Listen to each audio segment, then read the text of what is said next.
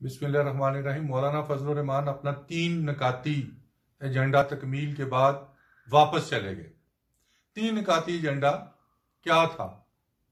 میاں نواز شریف کو ریلیف دینا، دلوانا، دے تو نہیں ہو سکتے۔ زرداری صاحب کو سندھ بجوانا اور مستقبل کے الیکشن میں اپنا حصہ لینا۔ اس کے علاوہ بھی ایک آدھ ایشو پر وہ معاملات طے کر کے گئے ہیں، جو عوام کو بھی معلوم ہے، جس کی تفصیل میں جانا اچھی بات نہیں۔ دوسری طرف، آج شہباز شریف نے تین گھنٹے کی ایک پریس کانفرنس کی کہ میاں نواز شریف جلد اللہ میاں کے پاس چلے جائیں گے۔ میاں نواز شریف کے بیماری اس نوبت پر چلی گئی ہے کہ وہ دو روز میں باہر نہ گئے تو وہ خدا نہ خواستہ، خدا نہ خواستہ زندگی کی بازی ہار جائیں گے۔ تو شہباز شریف صاحب باؤنڈ کیوں نہیں بھر رہے؟ باؤنڈ بھریں؟ چلے جائیں میاں صاحب۔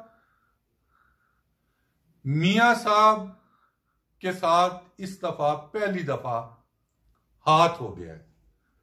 کہ وزیر اعظم عمران خان کو جس نے بھی مشورہ دیا ہے بانڈ کا، اس نے وزیر اعظم عمران خان کو بھی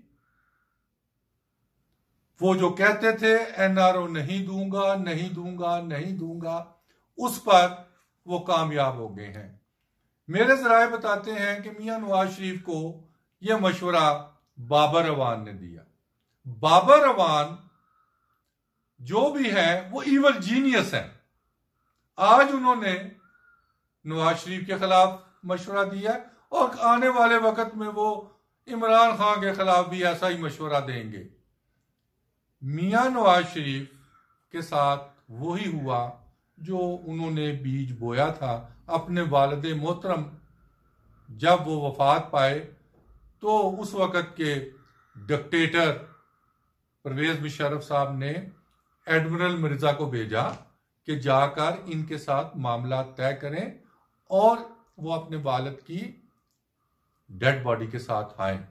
لیکن میاں نواز شریف نے اس وقت بھی سیاست کی اور جو ہی وہ باہر نکلے، انہوں نے کہا کہ حکومت ہمیں باپ کی ڈیڈ باڈی کے ساتھ جانے نہیں دیتی۔ اور اب بھی انہوں نے وہی کھیل کھیلا ہے، لیکن وہ کھیل کو کامیاب نہیں کر سکے۔ تیسری طرف،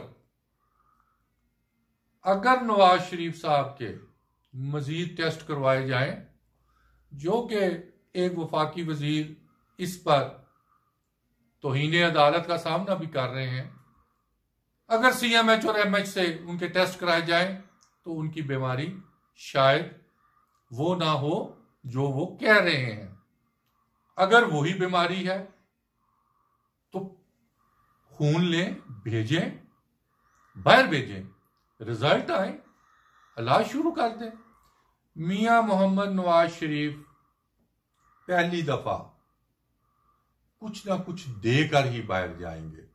ایسے وہ باہر نہیں جائیں گے۔ شہباز شریف نے ایک کھیل کھیلا ہے۔ جس میں وہ خود ہی پھنس گئے ہیں۔ اور پھنسے بھی اس حد تک ہیں کہ جس سے باہر آنا مشکل ہے۔ مولانا فضل الرحمان نے آصف زرداری کے ساتھ بھی رحم کیا ہے یا اپنے ایجنڈے کو تکمیل کیا ہے۔